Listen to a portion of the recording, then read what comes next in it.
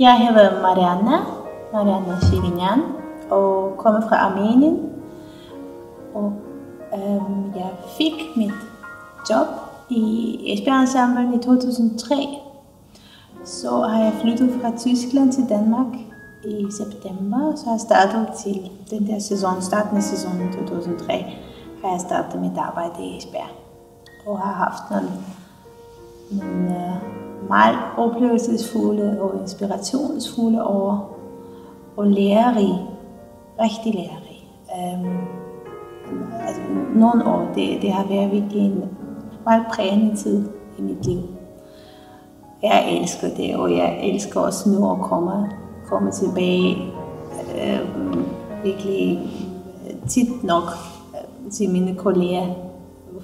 Det er virkelig en meget særlige forbindelse, vi har, og vi har haft i løbet af de mange år.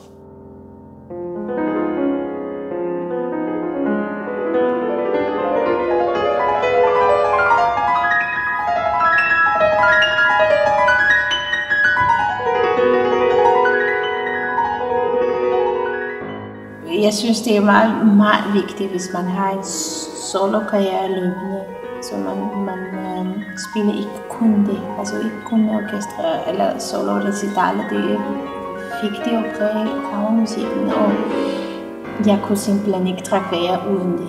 Altså, det er for mig en meget essentiel øh, noget i løbet af en, en sæson, hvor jeg skal have min del af kammermusik, og det skal være stor nok.